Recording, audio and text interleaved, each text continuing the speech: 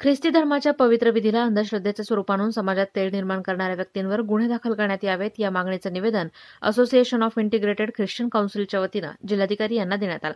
याप्रसंगी अध्यक्ष बाळासाहेब साळवे उपाध्यक्ष मधुकर कदम सचिव रत्नाकर मौलिक रेवरन ताराचंद चक्रनारायण प्रियेश वाघमारे मधुकर नेटके श्याम वैरागर संजय मगर दत्तू डांगे राहुल वडागळे निशिकांत चांदेकर चेतन गव्हाणे फ्रान्सिस विदाटे सोमनाथ जाधव कमलाकर भोसले शिवाजी डांगे उत्तम बालेराव अशोक वाघमारे रुपाली वडागळे अतिश तुजारे आदी उपस्थित होते. आळंदी येथे नुकतीच अनामिक व्यक्तींना दृष्टहेतू प्रेरे आळंदी येथे नुकतीच अनामिक व्यक्तीने दृष्टहेतूने प्रेरित होऊन ख्रिस्ती लोकांची उपासना विधीची अवहेलना आणि अपमान केला.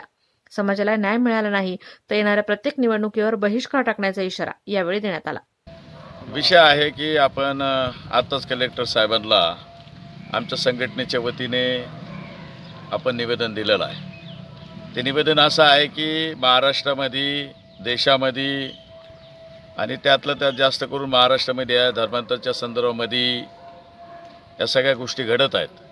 आता आता सांगलीमध्ये देखील मोठी घटना झाली. आता काल परवाची गोष्ट आहे आळंदी या भागामध्ये एक पवित्र विधी त्याला आम्ही म्हणतो प्रभू भोजन. आणि त्या विधीमध्ये येऊन एका ग्रस्तानी त्या भागामध्ये येऊन त्रास द्यायचं काम केलं. त्या महिलेवर हात उगारायचं काम केलं आणि त्या भागामध्ये मोठा प्रश्न उभा राहिलेला आहे.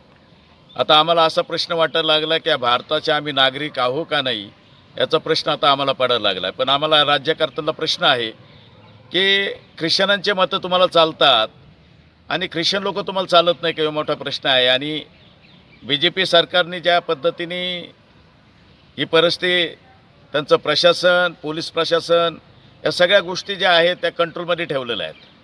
आणि अशा पद्धतीने आता आम्ही प्रश्न पडला की इथून पुढच्या काळामध्ये आम्ही येत्या निवडणुकाला लोकसभा असेल विधानसभा असेल महापालिकेच्या निवडणुका असतील ज्या काय निवडणुका आहेत त्याच्यावर आता आम्ही आमच्या संघटनेच्या वतीनं आणि ख्रिश्चन समाजाच्या वतीने लवकरात लवकर आम्ही आम्ही याच्यावर निर्णय झाला नाही.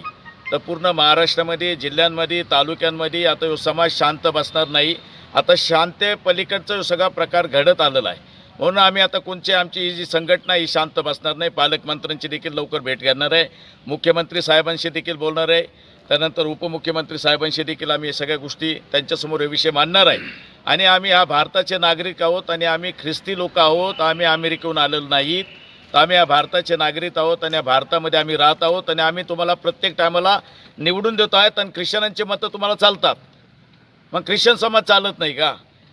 मग आम्ही वारंवार आम्ही निवेदन देत आहोत आणि प्रशासनाला देखील आमचं आव्हान आहे. याच्यावर तुम्ही कारवाई केली नाही आणि त्या ग्रस्ताला लवकरात लवकर तुम्ही अटक केली नाही. सांगलीमध्ये ही घटना झालेली आहे. आळंदीमध्ये झालेली आहे. प्रत्येक श जिल्ह्यांमध्ये या घटना होत आहेत आणि या घटना थांबल्या नाही. तर इथून पुढच्या काळामध्ये आमचे सगळे तरुण रस्त्यावर उतरतील आणि त्याचा सगळा जबाबदार प्रशासन आणि बी जे पी सरकार राहणार आहे तुम्हाला परत सांगतो. मुख्यमंत्री मोदींना देखील या माध्यमातून पत्रकारांच्या माध्यमातून माझी विनंती आहे. मीडियाच्या माध्यमातून माझी विनंती आहे की मुख्यमंत्री साहेबांनी आता लक्ष घालावं की आम्हाला अपेक्षा होती मुख्यमंत्र्यांकडून उपमुख्यमंत्र्यांकडून की आता हे वातावरण कुठंतरी चांगलं होईल. पण एका आता आम्हाला शंका वाटायला लागली आणि आमचा समाज जो आहे ख्रिश्चन समाज जो आहे सुरक्षेपासून आम्हाला असं वेगळं वाटायला लागलेलं आहे. म्हणून ह्याच्या पालकमंत्री आमचे विखे पाटील साहेब असतील मुख्यमंत्री असतील आणि उपमुख्यमंत्री असतील आम्ही पुढच्या काळामध्ये येत्या दिवसामध्ये लवकरात लवकर मेळावा घेणार आहोत.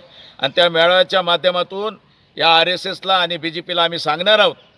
आणि त्यांना ते प्रश्न आम्ही त्यांना विचारत आहोत की आम्ही या देशाचे नागरिक आहोत का नाही? आणि येथे लोकसभा आणि विधानसभेला आम्ही निश्चितरित्या आम्ही सगळेजण विचार करून समाज हो बहिष्कार टाकणार आहे आणि आम्ही ते निर्णय घेतलेला आहे.